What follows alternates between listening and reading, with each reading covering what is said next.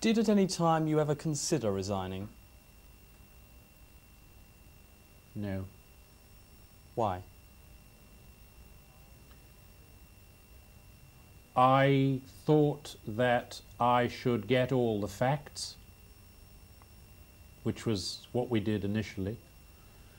I should let the inquiry run its course. The inquiry will come to certain judgments. I believe there is much to be done, which I happen to believe, it's for others to judge, to which I can make a very major contribution. What do you think you've actually learnt from the whole experience?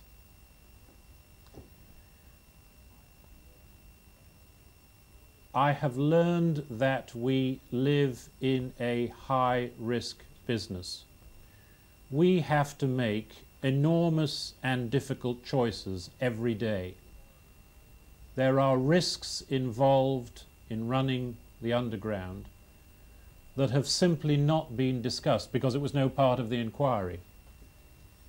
We have to judge priorities both in terms of investment, use of staff, uh, amount of management time, and we are alone in making those decisions. When something goes wrong, the world, the inquiry, yourselves in the media zero in on that and say, you got it wrong.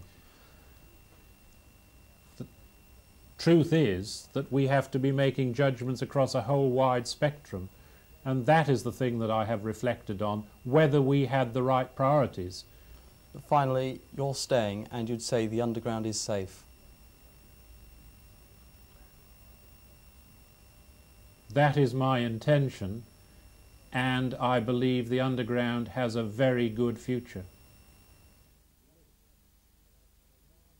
List the opposite view, but I've had a large number of people privately and even our critics in court personally have appeared to me to be at pains to make a number of heartwarmingly complimentary remarks about my own performance, and I obviously welcome that, and it puts things into perspective. The message is that the underground is of fundamental importance. It has had a turnaround in its fortunes in recent years. It was a declining business. Nobody, fewer and fewer people were riding on it. Everyone knows today the importance. I am giving the message to government, to the public, that it is essential. We must invest more in it. We must improve.